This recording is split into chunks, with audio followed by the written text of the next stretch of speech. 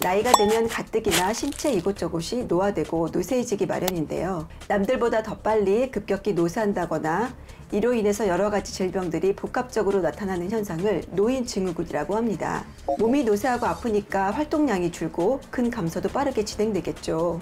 그럴 때 살짝 삐끔만 하거나 넘어져서 골절로 입원을 하게 되는 경우가 생기는데요. 이때 평소 근육이 튼튼한 사람은 1, 2주 안에 회복이 되는 거고요. 반대로 저축해둔 근육이 없다면 장기 입원을 할 수밖에 없고 침상 생활을 하면 남아있던 근육마저 바닥나 버리는 악순환이 발생하는 겁니다. 결국 심폐 기능이 떨어지면서 노년기에 치명적인 합병증인 폐렴, 폐혈증, 욕천과 같은 여러 가지 문제가 다발적으로 발생하면서 사망까지 이를 수 있습니다. 근력도 안 좋아지고 뼈도 약해지고 더 이상 나빠지기 전에 건강을 찾고 싶어요. 골다공증과 근 감소 전경옥 도전자. 현재 건강 상태는 어떨지 병원을 찾은 두 사람. 체성분, 혈액 검사와 함께 엑스레이, 초음파 등 다각도의 검사를 실시해 봤습니다. 정경옥 씨의 결과는 어떨까? 허벅지 쪽 초음파 검사를 해보니까요. 허벅지 두께가 0.8cm로 이 두께가 되게 좀 얇은 걸로 나왔습니다. 우리 몸을 잡고 지탱해 주는 건 뼈가 아니에요. 근육이 있어야 우리 몸을 잡고 지탱을 해주는데 우리 어머님 보니까 이게 다 빠지고 있는 상태인 거예요. 근육 두께가 평균보다 얇아져 있는 상태. 또한 체지방률은 높고 근육량은 적은 데다가 체내 단백질도 부족합니다. 한편 막내 씨의 결과는 무릎은 인공관절 수술을 하고 나면 그 다음에 무릎을 받치고 지지하는데 제일 필요한 게 근육이에요. 이 근육이 힘이 있고 튼튼하게 지지가 돼야 잘 받쳐줄 수가 있는데 근육 다발이 두께층이 좀 상당히 얇아진 것을 확인할 수 있었습니다. 이 막내 씨 관절 주변 근육이 약화된 상태인데다가 근육량과 체내 단백질 양은 적고 총 콜레스테롤, 중성지방 수치는 기준치를 넘어섰습니다. 이번엔 근력을 알아보기 위한 운동 능력 검사도 진행을 했는데요. 앉았다 일어서기 5회를 반복했을 때 12초가 넘으면 근 감소증을 의심할 수 있는데 이막내 도전자 16초, 전경옥 도전자 18초 기록. 두 사람을 위한 솔루션은 근육의 양과 질을 모두 지키기 위해서는 단백질 섭취가 매우 중요하다는 건 다들 잘 알고 계실 텐데요. 문제는 나이가 들수록 단백질의 체내 흡수율이 낮아질 뿐 아니라 음식으로만 단백질 하루 섭취량을 채우기에는 한계가 있습니다. 게다가 어르신들은 소화가 잘 안 된다는 이유 때문에 동물성 단백질 음식들은 섭취를 피하시는 분들도 상당히 많은데요. 사냥의 젖에서 추출한 것으로 알려진 사냥류 단백질은 모유 성분과 가장 유사해서 소화기관이 약한 중장년층이 섭취하기에 용이한 단백질의 공급원이라고 할 수 있습니다. 사냥류 단백질은 근육이나 내장, 혈액, 피부와 호르몬을 만들고 면역 항체를 생성하는 필수 아미노산과 함께 칼슘, 철, 비타민 D와 같은 필수 영양 성분이 풍부하게 함유되어 있는 것으로 알려져 있습니다.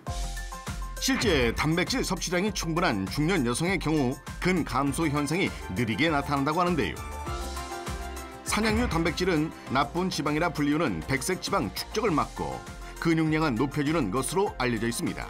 생존 근육을 사수하기 위한 14일의 도전 스타트!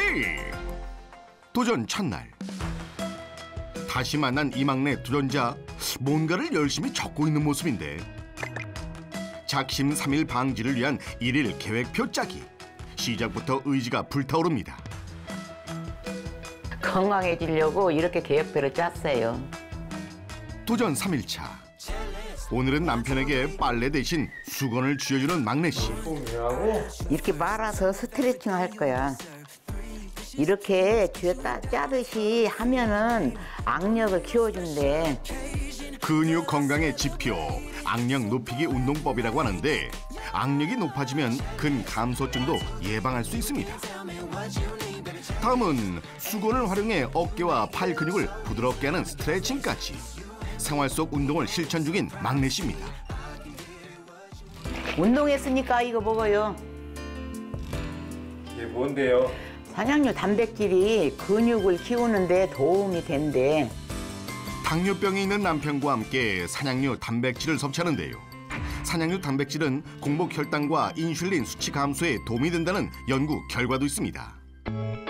도전 5일차. 오늘은 인생 첫 필라테스에 도전한 막내 씨. 골반을 천천히 앞으로 이렇게 기울였다가 이렇게 살짝 들었다가 그렇죠 너무 좋아요 요 정도 차- 천천히 내릴 거예요 그렇죠. 어우 힘들어요. 어머니처럼 70대 정도 되시면 근육이 쏙쏙 빠지는 나이예요. 네, 그래서 겉근육도 중요하지만 속근육도 잘 채우는 운동을 많이 하셔야 돼요. 특히나 관절과 척추 건강이 좋지 않은 막내 씨에겐 맞춤 동작이라고요. 양손도 앞으로 나란히 천천히 이렇게 한번 해보실까요? 이 손 이제 만세할 때 이 다리도 같이 뻗을 건데요. 천천히 이렇게 뻗어보세요. 그렇죠. 요거예요 요거. 건강을 되찾기 위해 노력하는 막내 씨. 그 열정만큼은 20대 못지 않습니다. 운동을 마치고 난 뒤엔 챙겨 먹는 것도 있다는데요. 운동하고 나면 단백질을 먹으면 좋다고 해서 한약류 단백질을 먹고 있어요. 근육도 생기는 것 같고 소화도 잘 되고 좋아요. 산양류는 중세 지방산 함량이 높아 소화가 용이하며 심혈관 질환 개선에도 도움이 될 수 있다고 합니다. 도전 7일차. 배운 거 해봐야지. 배웠던 동작들을 떠올리면서 열심히 해보는데요. 하나 둘 하나 둘 아이고야 첫날보다 동작이 한결 수월해 보이는 모습입니다. 한편 정경욱 도전자는 어떻게 지내고 있을까? 식단에 가장 큰 변화가 생겼습니다. 바지락이 단백질이 많다고 하잖아요. 부드러워서 먹기도 편하고 그래서 밥을 한번 해 먹어보려고요. 단백질 식단을 찾아가는 재미에 푹 빠졌다는 경욱 씨. 이 오징어도 고단백 식품이잖아요. 부드럽고 쫄깃한 식감 자랑하는 오징어에 짜잔 맛은 물론 영양도 최고. 없던 입맛까지 돌아오게 한다는 바지락 밥도 완성. 언니 나왔어. 아이고 왔어 앉아. 이게 뭐야? 고단백 저칼로리 식단이야. 내가 골다공증이 있잖아. 단백질 있고 영양가 있는 걸 챙겨 먹고 있어. 한장 정도 넣고 비워봐. 직접 만든 냉이 양념장으로 맛을 더하고 쫄깃한 바지락 식감까지 겨울철 별미가 따로 없다는데요. 도전 전 끼니를 거르기 일쑤였던 경욱 씨 건강을 위해 작은 것부터 하나씩 바꿔 나가고 있습니다. 경욱 씨가 마당에서 뭔가를 하고 있는데요. 운동 같기도 하고 게임 같기도 하고 아니 지금 뭘 하시는 거예요? 음 운동하고 있지.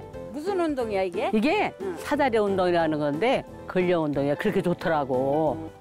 균형 유지와 근력을 키우는데 도움이 된다는 사다리 운동.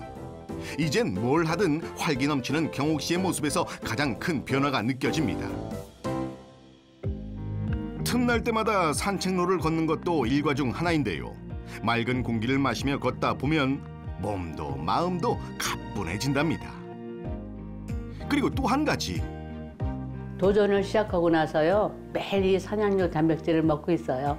근육도 붙은 것 같고요. 기운도 나는 것 같아요. 한 동물 실험에서 19주간 산양류를 공급한 결과 골밀도를 높여 골다공증 예방에도 도움이 되는 것으로 나타났습니다. 근육 사슬을 위한 적절한 운동과 식습관 개선 그리고 산양류 단백질 섭취까지 쉼 없이 달려온 도전단. 드디어 14일에 도전이 끝이 났습니다. 과연 어떤 변화가 있을지 2주 전과 동일한 검사를 진행해 보았는데요. 먼저 정경욱 도전자의 검사 결과는 2주 전보다 확실히 허벅지 근육이 많이 두꺼워졌어요. 열심히 했죠. 절실한데. 이 허벅지 근육이 처음에는 0.83cm로 상당히 좀 얇았었는데 1.06cm로 되게 많이 두꺼워지고 좋아졌어요. 이 관리를 상당히 잘하신 것 같아요. 아유 감사합니다. 허벅지 근육 두께와 근섬유 두께 모두 증가한 것을 확인. 또한 근육량 역시 증가했고 체내 단백질과 총 콜레스테롤, 중성지방 수치 모두 정상으로 나타났습니다. 한편 막내 씨는 어떨까?